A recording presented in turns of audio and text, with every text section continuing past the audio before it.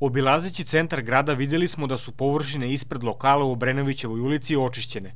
Izgleda da su ljudi konačno ozbiljno shvatili da je to potrebno uraditi zbog bezbednosti nas samih, ali i zbog upozorenja i apela nadležnih. Iz komunalne policije ističu da do sada nije bilo izdavanja prekršajnih naloga. Ipak, treba znati da su predviđene kazne za fizička lica 6.000 dinara, za preduzetnike 12.000 i za pravna lica 60.000 dinara. Kako ste zadovoljni kako nadležne službe čiste grad u ovim ledenim danima od snega?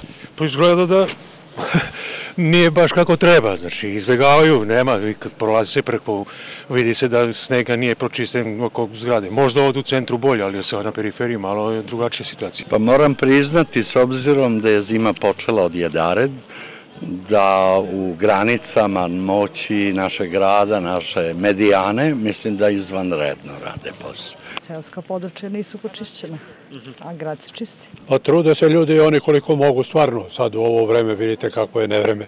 I ja sam zadovoljan s ovim što rade oni sad. Da li ste zadovoljni recimo kako vlasnici lokala, odnosno radnici koji rade u lokalima, evo ovde recimo u centru grada, čiste ispred svojih lokala? Pa to u redu i to, to treba tako da bude. To je dobro, dobro je tako.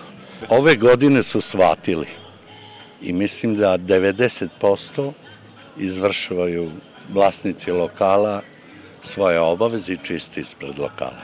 Obavezno potrebno je da se čisti ispred lokala, znači ispred zgrada, da stanari čiste. I oni čiste, vidim tamo i bio sam kod doma zdravlja tamo.